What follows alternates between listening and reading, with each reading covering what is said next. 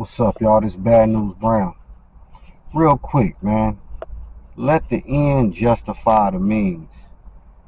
And what I mean is, whatever you doing, have an end goal and stick to that end goal. For instance, if you work in a nine to five, well, that shouldn't be your end all be all, depending on what you want in life. But I say that to say when somebody because a lot of cats don't like working nine to fives, or they don't like doing whatever they need to do to get themselves right. And it's usually because they embarrassed or they they tripping on how the next person gonna look at them. But you need to let the end justify the means. And that remind me of that scene in the old school movie White Men Can't Jump when the Woody Harrelson character told uh, the Wesley Snipes character, you rather look good than lose than look bad than win. Think about that point. And of course, you don't have to look bad to win, but it's more or less where you place in your priorities. And of course, I had to learn this as well. We all go through a, a particular phase or certain phases in life. But again, you need to let the end justify the means. So no different than somebody collecting cans. Yeah, they, to to you they may look like a bum. But depending on what their objective is, collecting cans can take them a long way. Now, this is not to say do I recommend just collected cans. No.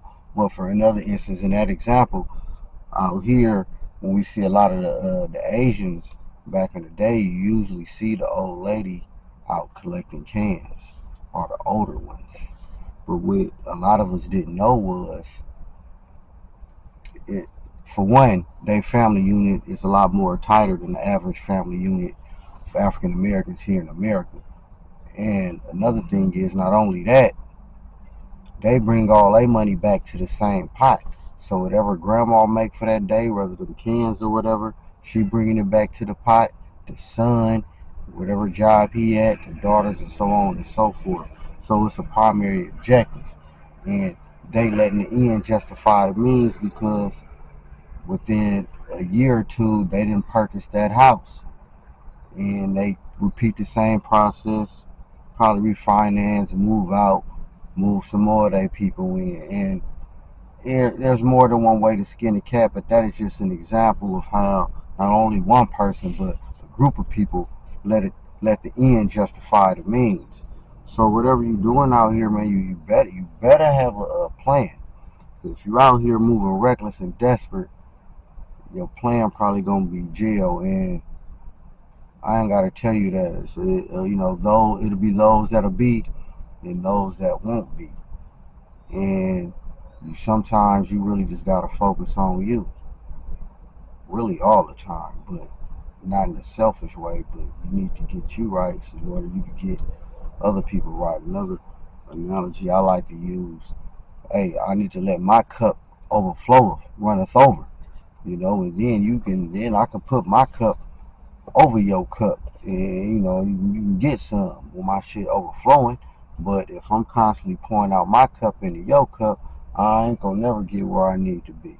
So that's another way to make it easier for somebody to understand out here. And I'm just sitting here thinking about this real quick as I uh, go on with my day. But I don't know, man. It's I don't know. Life is life. People is gonna be people. So you gotta kind of understand that and I don't want to say you can't change the world and all that because that's not really what I'm trying to say. Because although you can, but it's not like the fairy tale way how it's led to believe.